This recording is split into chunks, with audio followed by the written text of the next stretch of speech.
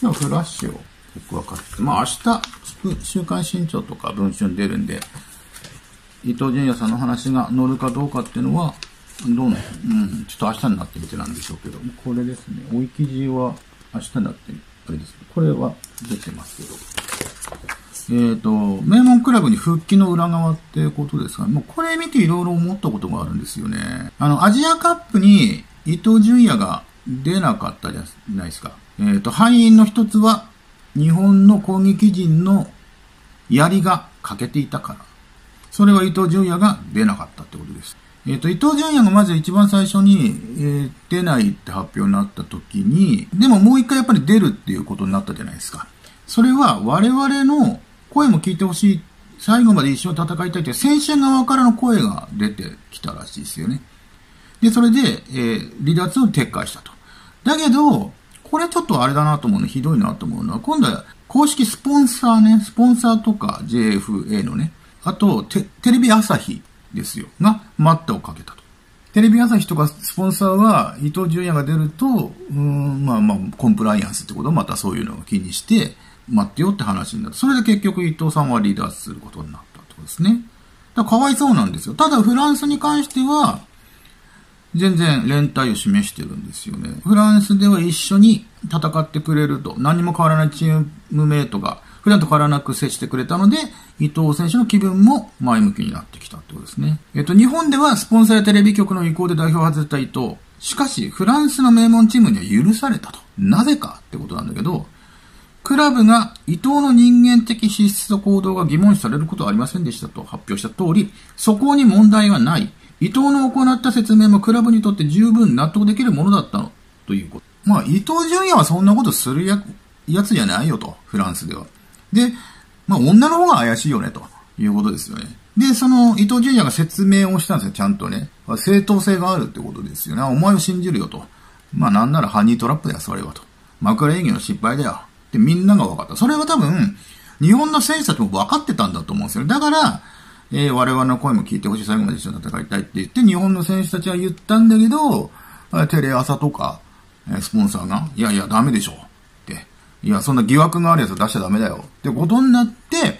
まあそうなったら選手側も不満たらたらですよね。なんでだよと。まあそこで士気が著しく弱まったってことがやっぱり敗因なんだろうなっていうふうに思いますよ。だから、週刊新潮が敗因の一個、一一応こうになってるけど、そこだけじゃなくて、もうテレ朝とか、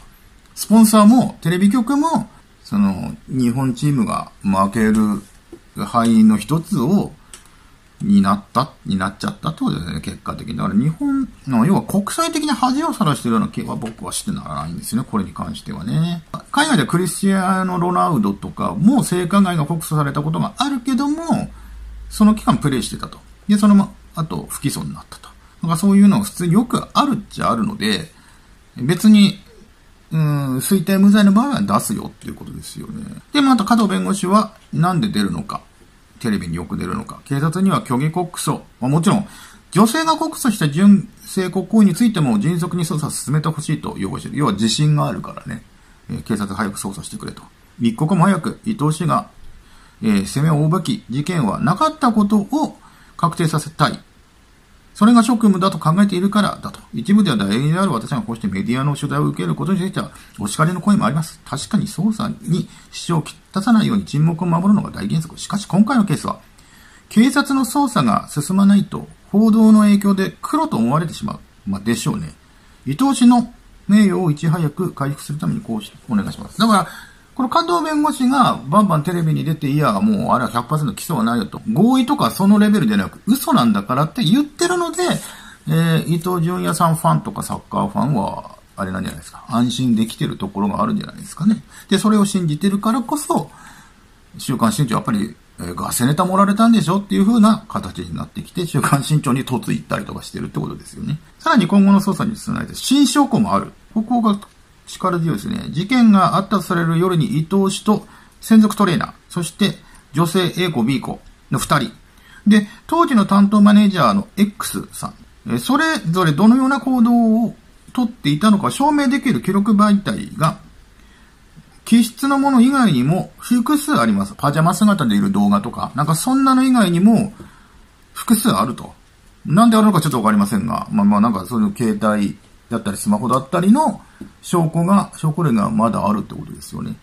で、それはすでに警察に提出していると。ここで詳しくお伝えできませんが。まあだから裁判になってくると色々出てくるけど、伊藤側にはまだまだ控えがいると。捜査の進展を待ってる。このフラッシュの記事も限りなく伊藤選手は、伊藤純也は、えっ、ー、と、無実ですよというふうに見てると、うーん、伊藤純也が、他の媒体の軒並み伊藤純也は白でしょと。